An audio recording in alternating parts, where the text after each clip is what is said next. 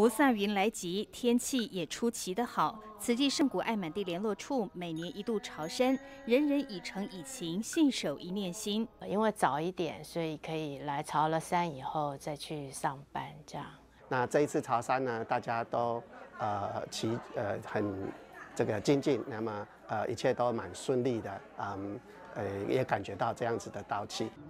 受过伤、腰部、背部还在康复中的眼科医师林梦杰承诺战胜了犹豫，也证明了朝山是一项有益身心的活动。天气有点热，然后开始出汗了，然后这样反反复复的动作，反而腰不会痛，而且感觉道气很强，这样子，然后自己能够心情比较沉淀一点。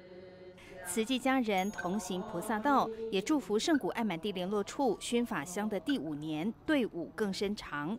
大爱新闻真善美之光王淑清、骆淑丽、李建群，美国报道。